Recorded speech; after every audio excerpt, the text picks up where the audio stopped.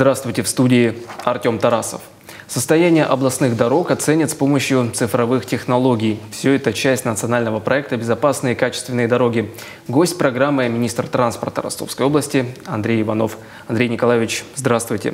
Здравствуйте. Рад вас видеть в нашей студии. Ну и в начале о цифровых технологиях, которые должны оценить качество а, дорожного покрытия в Ростовской области. Сейчас, я как понимаю, используется обычная визуальная оценка. Расскажите о том, как это будет все осуществляться и когда, собственно, эти технологии, возможно, уже будут применять в Ростовской области? Ну, в данном случае речь, конечно, следует вести прежде всего о научно-исследовательских разработках, которые мы планируем применять э, при определении параметров состояния нашей дорожной сети. Прежде всего, это касается опорной сети дорог. Понятно, что эта процедура достаточно дорогая, но вместе с тем э, использование новейших технологий, которые на сегодняшний день уже себя достаточно хорошо зарекомендовали, в частности, такая Система применяется на дорогах, которые находятся под управлением госкомпании «Автодор». Это прежде всего наша федеральная трасса М4 Дон, это ряд других федеральных дорог. И это подразумевает территорию э, применение так называемого динамического мониторинга, потому что то, что мы с вами как э, обыватели зачастую видим в качестве э, дорожного покрытия не, соответствующего нормативным требованиям, это проблемы не только самого дорожного покрытия, это проблемы, которые лежат, как правило, в глубине конструкции дорожной одежды. То есть и э, такая система динамического мониторинга, она дает возможность именно оценить характер этих глубинных проблем, определить, на каких дорогах мы в первую очередь должны проводить капитальный ремонт, либо можем ограничиться просто ремонтом, э, либо в рамках содержания провести какой-то комплекс работ. И в свою очередь, если мы проводим эти работы в качестве э, ремонта или содержания, достаточно ли этих мероприятий. То есть таким образом эта система динамического мониторинга даст нам возможность более Э, рачительно, если хотите сказать, э, более целесообразно использовать угу. те финансовые средства, которые у нас сегодня есть в рамках дорожного фонда. Ну, как вы сказали, речь пока идет только о научно-исследовательских, как я понимаю, опытно-конструкторских работах. Ну, а в полной мере приблизительно сейчас можно говорить о сроках, о планах, когда мы сможем использовать именно эту систему? Я думаю, что в 2019 году мы такой опыт должны начать использовать в первую очередь, как я уже сказал, на нашей опорной сети региональных угу. дорог. Это именно имеется в виду опорный каркас на нашей дорожной uh-huh. сети. То есть у нас всего 7,5 тысяч километров региональных дорог. Я думаю, что как раз именно главные региональные магистрали мы подвергнем этой процедуре. Сейчас для понимания телезрителей а, расскажите, все это э, в рамках проекта «Безопасные качественные дороги» или это будет отдельно? Осуществляться? Э, пока это будет осуществляться отдельно, в том случае, если этот опыт, э, первый опыт реализации вот подобной системы динамического мониторинга покажет хорошие результаты, угу. мы, конечно же, его положим в основу при выборе э, тех работ, которые мы будем проводить в рамках проекта БКД. И угу. в том числе, я думаю, мы сможем эту же систему динамического мониторинга использовать при контроле качества работ, которые угу. проводятся в рамках теперь уже национального проекта «Безопасные и качественные автомобильные дороги». К нему он реализовывается уже несколько лет, он был приоритетным. А, расскажите именно о работах этого года, то есть э, что здесь можно выделить, какие дороги были отремонтированы и реконструированы соответственно. В рамках приоритетного проекта, о котором вы сказали, Ростовская область участвует в этом проекте уже два года, то есть в 2017-2018 году, наряду еще с 36 субъектами Российской Федерации, Ростовская область приняла участие в этом приоритетном проекте. Всего в нем участвовало 38 э, городских агломераций с населением э, центра этой агломерации более 500 тысяч человек. Естественно, у нас вошла ростовская агломерация с городом Ростовом-на-Дону в центре и еще 17 муниципальными образованиями. В 2017 году, э, в 2017 году на реализацию этого приоритетного проекта в области было направлено 2,4 миллиарда рублей. Из них 1,2 миллиарда рублей – это средства федерального бюджета. Ну и, естественно, работы, конечно, проводились больше по территории города Ростова-на-Дону и региональным дорогам Ростовской агломерации ввиду подготовки к угу. достаточно серьезному событию, о котором мы все говорили весь этот год. Да? Это чемпионат мира по футболу. В 2018 году мы уже включили в реализацию этого проекта еще 10 муниципалитетов, и поэтому практически половина работ была проведена на муниципальных дорогах, которые входили в ростовскую агломерацию. В рамках этой работы нам, э, с учетом в том числе 10 объектов, которые были реализованы на федеральных дорогах, удалось привести в нормативное состояние и отремонтировать более 200 километров дорожного покрытия в общей сложности на региональных и муниципальных дорогах это 66 объектов. Угу. То есть, э, ну, нам кажется, что это действительно такая серьезная работа, которая была замечена э, уже в этом году не только жителями города Ростова-на-Дону, а и, безусловно, теми муниципальными образованиями, которые входят в ростовскую угу. агломерацию. А, вот такой нюанс. Э, эти два года проект назывался приоритетным, сейчас он станет называться национальный.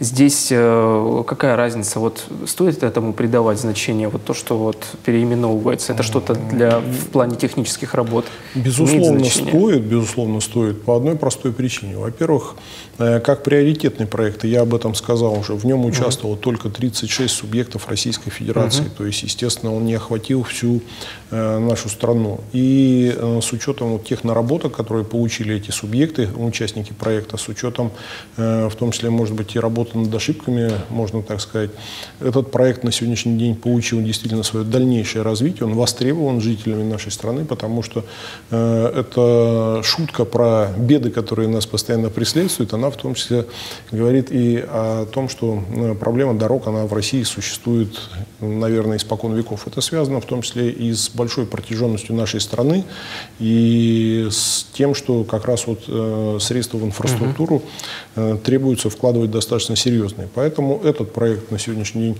расширен э, в части э, тех территорий, которые он охватит, практически все субъекты Российской Федерации примут участие в этом проекте, угу. примут участие городские агломерации с центрами более 200 тысяч человек. Ну вот в частности для Ростовской области что изменится? У нас добавятся еще две агломерации. У нас добавляется на этой карте, кроме ростовской агломерации, добавляется агломерация Таганрогская и Шахтинская. Угу. Добавляется еще три муниципальных образования, так как Таганрог и шахты входили до этого в ростовскую агломерацию, добавляются еще три муниципалитета. Это прежде всего шахтерские территории, угу. которые также э, составят у нас пул участников этого проекта. Безопасные и качественные автомобильные дороги 21 муниципальное образование будет участвовать теперь в этом проекте. Но в целом участвует и вся область. а до этого они, получается, не, не участвовали в этом проекте? Они не были участниками этого проекта, они не входили в карту реализации этого проекта. Это возможность привлечь более серьезные финансовые средства федерального бюджета. Угу. В целом на, на национальный проект в этом году будет направлено 3,3 миллиарда рублей. То есть это средства и регионального, угу. и федерального бюджета. Э, стоят очень понятные, четкие показатели по приведению дорог в нормативное состояние. Это касается прежде всего дорог городских агломераций, это касается uh-huh. региональных дорог в целом по Ростовской области. Uh-huh. В данном случае надо говорить о том, что Ростовская область в целом участвует в этом проекте. И, э, кроме того, э, придается очень серьезное внимание как раз э, тому, что и является составной частью этого проекта, именно название этого проекта, это безопасность. В данном случае национальный проект на федеральном уровне будет состоять из четырех федеральных проектов, один из которых это безопасность дорожного движения. Uh-huh. И перед нами, как перед субъектом федерации и и перед нашими коллегами точно так же э, стоит э, задача снижения так называемого фактора социального риска. Угу. То есть э, до 2024 года мы этот фактор должны снизить вдвое. Это количество пострадавших, погибших на 100 тысяч человек. Но это не значит, что мы стремимся к какой-то конкретной цифре. То есть это было бы, наверное, неправильно говорить, что для нас допустимо какое-то количество погибших на наших дорогах. Конечно, недопустимо. И поэтому э, задача перспективная, которая должна быть решена до 2030 года, это снижение этой цифры, количества погибших на 100 тысяч человек на наших дорогах, стремление к нулю к 2030 году. Задача архисложная, но вместе с тем и, безусловно, архиважная. Мы с вами свидетелями являемся каждый день, въезжая с утра в город Ростов-на-Дону или выезжая с города Ростова-на-Дону. Угу. То есть вот эта пресловутая маятниковая миграция, она каждый день присутствует. То есть жители Оксайского района, Мясниковского района, жители Батайска едут на работу в город Ростов-на-Дону, вечером возвращаются. Поэтому задачу нельзя на сегодняшний день решать оторванно от взаимосвязи да. этих территорий. Ну вот если в Таганроге раньше реализовывалась эта программа, сейчас он становится центром агломерации, то есть сейчас как она там будет реализовываться, что для него изменится, получается? Для Таганрога меняется то, что на сегодняшний день на Таганрогскую агломерацию отдельно выделяются э, средства федерального и регионального бюджета, то есть это около миллиарда рублей, 510 миллионов выделяется из федерального бюджета и почти такая же сумма, чуть меньше, Э, из э, регионального бюджета. То есть таким образом мы получаем возможность развития э, дорожно-транспортной инфраструктуры. Ну, это же речь только о ремонте. Эта же программа не предусматривает строительство новых каких-то развязок, дорог, как я понимаю. Нет, почему? Как раз, как это, раз это? эта программа и mm-hmm. говорит о том, что, конечно, на первых порах мы должны за счет ремонтных мероприятий добиться максимального эффекта, но в дальнейшем она предусматривает, поскольку эта программа рассчитана до 2024 года, предусматривает в том числе вложения капитального характера. В данном случае э, как раз эта программа предусматривает комплексный подход uh-huh. развития инженерно-транспортной инфраструктуры, то есть подразумевая то, что э, мы будем, безусловно, вкладываться именно в те вопросы, которые помогут нам добиться максимального эффекта uh-huh. и позволят нам наиболее эффективно распорядиться бюджетными средствами, этому способствуют в том числе и целевые показатели, которые перед нами, как перед субъектом uh-huh. федерации поставлены. Ну и, наверное, приоритет э, прежде всего должен отдаваться э, тем э, улицам, маршрутам, по которым следуют, опять же, маршруты общественного транспорта, для того, чтобы облегчить угу. транспортную ситуацию в центрах этих агломераций, в городах. Знаете, я вот сейчас не замыкался, наверное, только программой безопасной и качественной Нет, нет, мы сейчас перейдем дороги. к, к другим, да. Э, может быть, э, сразу, потому что возникает вполне очевидный вопрос у всех остальных жителей области. То есть, э, а что, что же будет делаться для нас в наших территориях? Да? То есть, во-первых, мы продолжим помощь нашим муниципальным образованиям из угу. средств дорожного фонда на содержание дорог, на ремонт дорог, угу. в том числе и на строительство дорог. Но э, вместе с тем, наверное, нельзя не сказать о значимых, серьезных объектах, которые э, мы продолжаем э, в 2018, мы будем продолжать в 2019 году. Это, наверное, один из самых главных объектов. Это северный обход города Ростова-на-Дону. У нас на сегодняшний день завершены дороги на участке до направления на Родиона Несветаевскую, Новошахтинск. Mm-hmm. В свою очередь, от э, этой дороги до дороги на Таганрог у нас дороги начаты в 2018 году. На сегодняшний угу. день мы их приостановили в октябре месяце в связи с необходимостью корректировки проектно-сметной документации и синхронизации с развязкой на девятом километре э, угу. дороги на Таганрог. То есть это федеральная дорога, соответственно, эти средства на строительство развязки должны быть предусмотрены в федеральном бюджете. Но это уже другая какая-то программа, это, не БКД. Это не БКД. БКД. Это, э, наверное, тот большой проект, который уже уже получил э, название, вот такое, может быть, неофициальное, Ростовское транспортное кольцо, и мы будем продолжать его в 2019 году.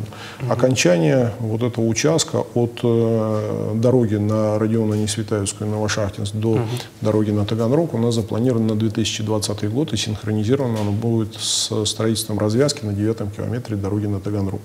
Кроме того, Нами в 2019 году будет продолжена э, реконструкция и строительство дороги на аэропорт Платов. То есть э, тот участок протяженностью 12,5 километров, который был э, построен по второй технической категории. Наша задача, и мы ее уже реализуем, довести до первой технической категории, то есть по две полосы в каждом направлении. Э, эти работы будут завершены также в 2019 году. Я думаю, в августе месяце угу. этот, этот объект уже сдадим в эксплуатацию. Будут продолжены работы в Миллеровском и Чертковском районе в рамках нашего взаимодействия с российскими железными дорогами. Это речь идет о Э, тех средствах, которые российские железные дороги выделили на восстановление разрушенных дорог при строительстве э, участка э, дороги под названием «Обход Украины» в Миллеровском и Чертковском районе. Кроме того, мы к ряду объектов приступаем. Это ну, вот несколько, наверное, самых значимых, может быть, приведу. В городе Волгодонске это строительство, точнее реконструкция дороги к Ростовской атомной станции. То есть также участок протяженностью более 12,5 километров. То есть мы начинаем эту работу в 2019 2019 году. Э, там две очереди последуют угу. со сроком завершения в 2021 году. Реконструкция участка дороги Ростов-Ставрополь, то есть дорога, которая также требует нашего пристального внимания. В том числе, кстати, на этой дороге мы будем ремонтировать ряд мостов и путепроводов. Это продолжение реконструкции дороги на Волгодонск. В этом году мы в 2018 угу. реконструировали порядка 30 километров этой дороги. Еще три участка у нас предусмотрены на 2019 год. acordo. Наверное, самым важным для наших муниципальных образований это то решение, которое было принято губернатором Ростовской области в угу. части э, снижения нагрузки с муниципальных дорожных фондов. В этом году угу. было принято практически беспрецедентное решение. Э, это по уменьшению объема финансирования для муниципальных образований до 1%. То есть, если раньше процент софинансирования для каждого муниципального образования э, был разным и лежал в пределах где-то до 10-13%, угу. то на сегодняшний день всем муниципальным образованиям без исключения, без исключения в рамках дорожного фонда установлен процент софинансирования 1%. Это значит, что большую часть нагрузки по э, дорожным работам берет на себя именно областной бюджет, понимая, так сказать, и напряженный характер бюджетов муниципальных mm-hmm. образований. Но наша задача, безусловно, совместно с муниципалитетами проследить за тем, чтобы от этого муниципальные дорожные фонды не стали более легковесными. То есть мы полагаем, что сняв таким образом часть нагрузки по э, ремонту, реконструкции и содержанию дорог, мы полагаем, что высвободятся значительные средства, которые также будут направлены на дорожное хозяйство уже самими муниципальными образованиями. Дополнительно уже да. к этим. Угу. Нововведение этого года за нарушение правил стоянки на М4 Дон предусмотрен штраф полторы тысячи рублей. И эти деньги, я знаю, пойдут в региональный дорожный фонд. Расскажите, на что эти средства потратят? Но э, я уже сказал э, частично об этом. Это, наверное, не нововведение, это скорее некий этап наш, угу. нашей совместной работы с госкомпанией «Автодор», потому что штрафы-то и до этого были. Другой вопрос, что, может быть, как раз практика применения этих штрафов или административная практика складывалась недостаточно эффективно, на сегодняшний день в рамках соглашения, заключенного между госкомпанией «Автодор», угу. Министерством транспорта и Центром безопасности дорожного движения, нашим подведомственным учреждением, госкомпания «Автодор» принимает, приобретает дополнительные средства технической фиксации этих нарушений. Парконы, да, э, по-моему? Да, парконы так называемые. Она наносит э, желтую разметку, которая обозначает места, где остановка и стоянка запрещена, то есть установка устанавливают соответствующие знаки предупреждающие. И в свою очередь это дает возможность э, работать по этим местам уже с применением технических средств для того, чтобы исключить пресловутый человеческий фактор, угу. да, эта информация будет направляться на центральный сервер Центра безопасности дорожного движения, обрабатываться и направляться в ЦАФАП для вынесения соответствующих протоколов об административных правонарушениях, которые потом посредством почты либо э, портала госуслуг будут направляться нарушителям. В свою очередь, это сделано не для того, чтобы э, пополнить дорожный фонд. И неправильно здесь ставить во главу угла то, что мы таким образом работаем над пополнением дорожного фонда. Основная задача – это обезопасить участников дорожного движения – то есть вот в этой части я просто призываю, наверное, нам надо всем менять э, психологию этих отношений. То есть задача сделать э, так, чтобы двигаться по нашим mm-hmm. дорогам было безопасно. Я уже говорил, только за неполный этот год у нас на автодороге М4 э, 74 человека получили ранения, 13 человек погибло в результате столкновений mm-hmm. с неправильно припаркованными транспортными средствами. То есть это может порой обернуться страшнейшей трагедией. Поэтому э, во главу угла мы ставим здесь вопрос безопасности. А трасса М4 Дон – это одна из самых нагруженных магистралей э, Донского края, да и не только Донского края, наверное, и всей Российской Федерации. Угу. Ну, а, как я понимаю, эти средства и помогут снизить нагрузку муниципальных бюджетов на дороги, и вот эта ставка софинансирования до 1% тоже за счет этих средств Эти средства снижается, да? Э, в соответствии с рекомендациями Министерства транспорта Российской Федерации угу. будут направляться в первую очередь как раз на работы по обеспечению безопасности дорожного движения. То есть они будут угу. направлены на установку дорожных знаков, угу. на обновление разметки, на э, устранение ненормативных э, моментов на нашей дороге, в конце концов, на ремонт наших дорог. Поэтому эти средства, они в свою очередь работают над тем, чтобы наша дорожная инфраструктура становилась качественнее. Угу. В Ростовской области, это вот точно уже, как я понимаю, нововведение, появятся весогабаритные пункты, которые будут отслеживать именно перегруз. Расскажите, а, где они появятся, как я понимаю, 5 в следующем году должно появиться, как они будут работать и а, почему именно эти места выбраны для них? Но что касается выбора мест, то наша задача, опять же, разместить их на региональной дорожной сети. Вот мы сегодня уже угу. э, применили такое понятие, как опорная дорожная сеть или каркас наших дорог. Да? То есть наша задача разместить эти вес, пункты весогабаритного контроля, которые работают в автоматическом режиме с таким расчетом, чтобы исключить возможные маршруты объезда и угу. обеспечить да. защиту наших дорог от ненормативных нагрузок. Дело в том, что на сегодняшний день основным разрушающим фактором является как раз движение э, грузового, прежде всего, транспорта со значительным э, перегрузом, со значительно превышающей нагрузкой на ось, что приводит особенно в летний период э, к серьезному ущербу для наших дорог. То есть мы это видим зачастую на подъездах к портам, на подъездах к элеваторам. То есть это прежде всего колейность, угу. это ненормативное состояние дорог и ряд других моментов, которые влияют в том числе на безопасность всех остальных участников дорожного движения.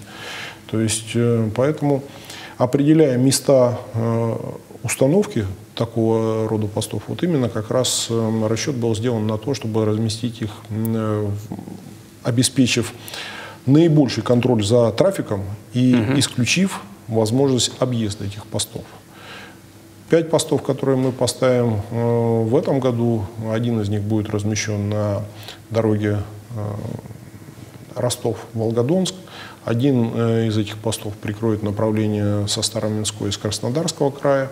Один из постов будет находиться на дороги на аэропорт Платов, которые сейчас очень многие стали использовать для того, чтобы уходить потом угу. на северный обход и объезжать таким образом Ростов и ростовские пробки. Да? Вот. И мы эту работу продолжим, в том числе по всем остальным региональным дорогам. Всего таких постов у нас должно появиться 15 в ближайшее время. И самая главная задача этих постов, опять же, исключить пресловутый человеческий фактор и обеспечить э, работу этих постов в автоматическом режиме. Угу. Ну, то есть, получается, когда какой-то большой груз будет проезжать мимо этого поста, с него просто будут взиматься какие-то деньги или накладываться штраф технологию да. саму. Расскажите, и куда эти деньги потом, собственно, собственно, пойдут, как я понимаю, на ремонт дорог. Деньги с него взиматься не будут в данном случае. Угу. То есть э, те, кто едет без перегруза, те, угу. кто движется со строгим соблюдением правил дорожного движения, никаких вопросов точно задаваться угу. не будут.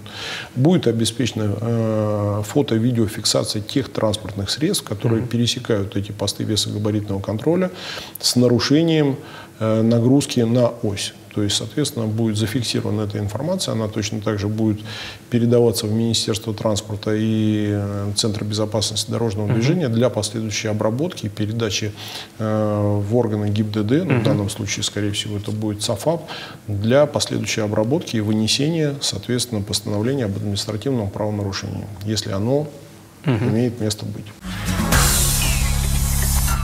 Я знаю, что Минтранс недавно заключил соглашение с ГИБДД и с судебными приставами. Расскажите вкратце, в чем суть соглашения.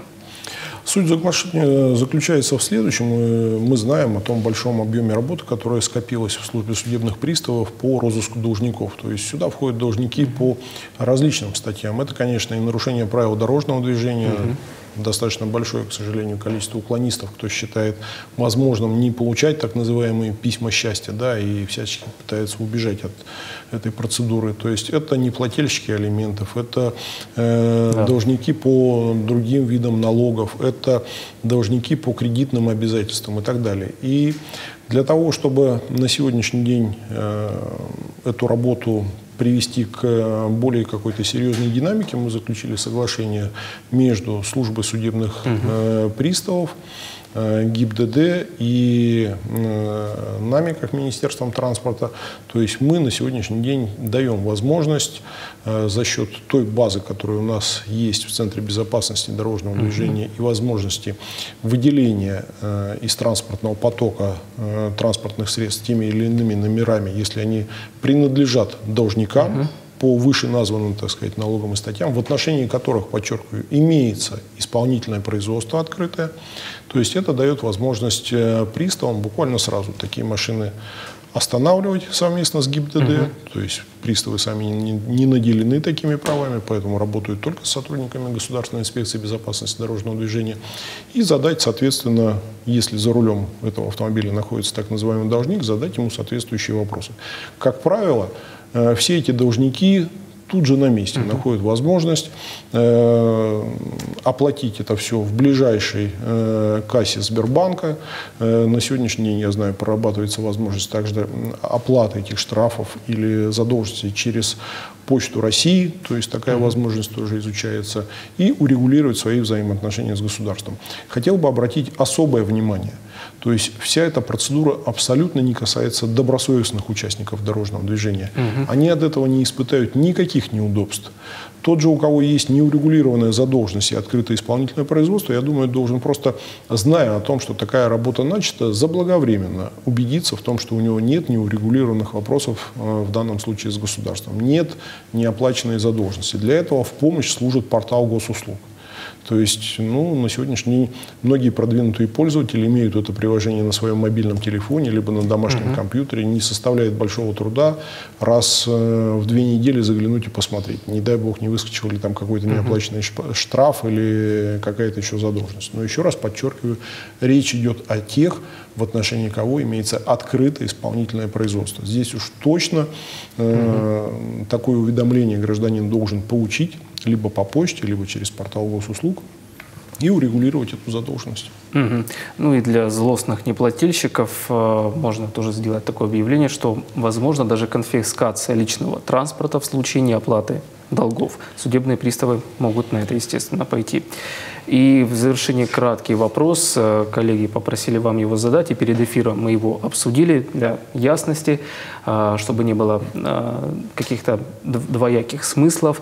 По поводу внедрения автобусов большой вместимости на рейсе аэропорт Платов Ростов-на-Дону. Все их ждут, и вы это анонсировали, что они обязательно появятся сейчас. На какой стадии идет процедура внедрения этих автобусов?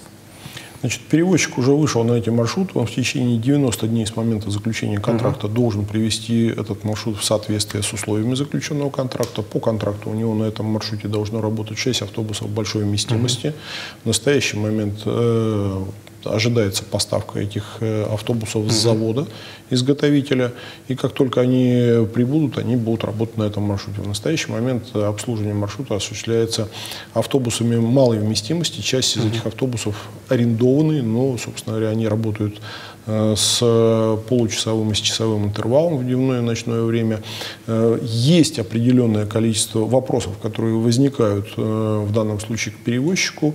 Они приходят как к самому перевозчику, так и непосредственно на телефон горячей линии Министерства транспорта, отрабатываются сотрудниками Министерства, опять же, с перевозчиком. То есть и вот этот процесс устранения, так сказать, проблем, связанных с изменением графика движения, он, по большому счету, идет в постоянном режиме.